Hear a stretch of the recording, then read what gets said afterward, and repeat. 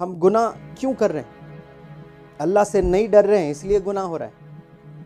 आप कोई गंदी मूवी लगाकर अपने घर में अपने वालिद, अपने अम्मी के सामने क्या देख सकते हो? नहीं देखेंगे। क्यों? बताए कोई? अगर मैं देखूँ तो मेरे अब्बू डांटेंगे, मुझे घर से निकाल देंगे। ये डर होगा कि नहीं होगा? और तनहा में जब देखते हैं तो हमें यकीन है अल्लाह एग्जिस्ट करता है, फिर भी हम देखते हैं, इसका मतलब क्या है? हमारा ईमान ज़ीरो हो जाता है उस वक्त में। क्या होता है? तभी तो उलमा कहते हैं बार बार कलमा पढ़ो, क्योंकि हम ईमान से खारिज हो जाते हैं।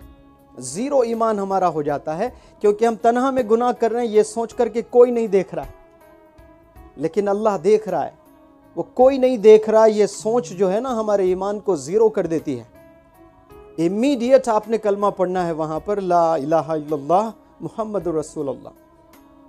तो हम अल्लाह से कम डर रहे हैं, अपने अब्बू से ज़्यादा डर रहे हैं। अल्लाह तो सबसे बड़े हैं। अपने पेरेंट्स से ज़्यादा आप सल्लल्लाहु अलैहि वसल्लम को चाहना है। लेकिन हम अल्लाह को ही नहीं चाह रहे अपने पेरेंट्स से। पेरेंट्स से ज़्यादा किसको चाहना है? प्रॉफिट मोहम्मद सल्लल्लाहु अलैहि वसल्लम को।